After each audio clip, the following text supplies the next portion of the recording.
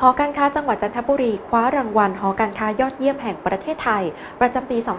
2557 ในฐานะองค์กรที่ให้การสนับสนุนภาครัฐ ภาคเอกชน และนักธุรกิจรุ่นใหม่ จนก้าวขึ้นประสบความสำเร็จค่ะ ที่โรงแรมเคพีแกลนจันทบุรี นายนันทชัยโรธวรรณศิลป์ประธานหอการค้าจังหวัดจันทบุรี ได้เป็นประธานการประชุมคณะกรรมการหอการค้าจังหวัดจันทบุรีสมัยที่ 15 ครั้งที่ 10ทับ2557 พร้อมด้วยดร นุการดา กิติสุภวัฒนา เลขาธิการหอการค้า และคณะกรรมการร่วมการประชุมเป็นจำนวนมาก โดยมีวาระที่สำคัญคือการแจ้งให้ที่ประชุมทราบว่า หอการค้าจังหวัดจันทบุรี ได้รับรางวัลหอการค้ายอดเยี่ยม ประจำปี 2557 จากหอการค้าไทย ในการสัมมนาหอการค้าทั่วประเทศ ครั้งที่ 32 ระหว่างวันที่ 21-23 พฤศจิกายน 2557 ที่มหาวิทยาลัยแม่ฟ้าหลวงจังหวัดเชียงราย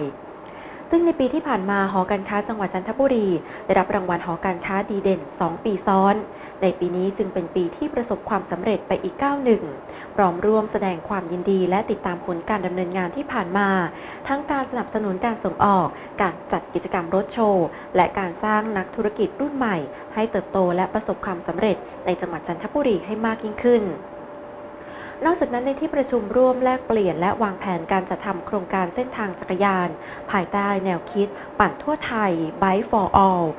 ส่งเสริมให้ประชาชนชาวจันทบุรีได้ใช้จักรยานเป็นพาหนะ ในการเดินทางในชีวิตประจำวัน และส่งเสริมการออกกำลังกายเพื่อสุขภาพ โดยมีการสำรวจเส้นทางนำร่องตั้งแต่ค่ายเนินวงถึงถนนพญาตรัง เพื่อทำช่องทางปั่นจักรยานให้กับประชาชน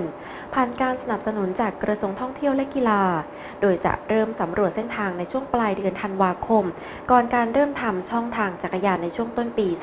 2558 ต่อไปค่ะ